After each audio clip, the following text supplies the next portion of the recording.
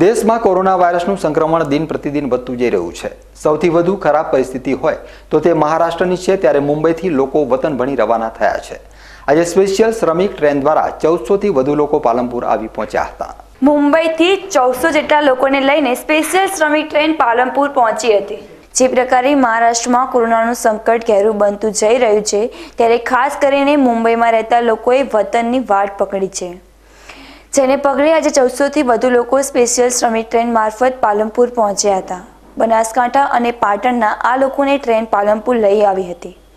ત્યારે Palanpur railway station પર આ મુસાફરોનું સ્ક્રીનિંગ કરવામાં આવ્યું હતું. આરોગ્ય વિભાગની ટીમો સહિત પોલીસની ટીમો પણ ત્યાં પહોંચી હતી અને એકતાળીસ જેટલી એસટી બસોમાં મુસાફરોને જિલ્લાના તાલુકા મથકે રવાના કરાયા હતા.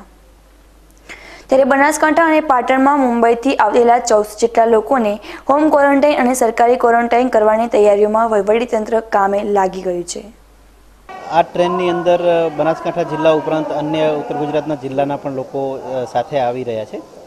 તો તમામ માટે અહીંયા મેડિકલ સ્ક્રીનિંગ કરવામાં આવશે, તમામનું લિસ્ટ તાલુકા વાઇઝ તૈયાર કરવામાં આવશે અને કન્સર્ન જિલ્લાના અધિકારીશ્રીને અહીંયાથી બસો દ્વારા સોંપવામાં આવશે.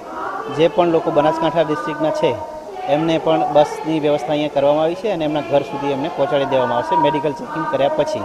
અને સરકારશ્રીની સૂચના મુજબ જે પણ ક્વોરન્ટાઇન કરવાની વ્યવસ્થા છે એ તમામ ગામોમાં ઇન્સ્ટિટ્યુશનલ ક્વોરન્ટાઇન અને હોમ ક્વોરન્ટાઇન એમ બંને રીતે સરકારશ્રીની સૂચના અન્વયે કાર્યવાહી કરવામાં આવશે.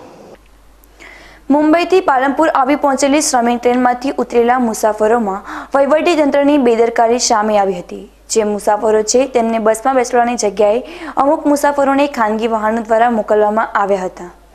જેમણે તેમના સગા સંબંધી લેવા આવ્યા હોય તેમની સાથે આ મુંબઈથી આવેલા લોકોને રવાના કરવામાં આવ્યા હતા. ત્યારે આ લોકોને ક્વોરન્ટાઇન અને હોમ ક્વોરન્ટાઇનની સુવિધા ક્યાં જળવાય છે તેની તો આગામી સમયમાં જ ખબર પડશે.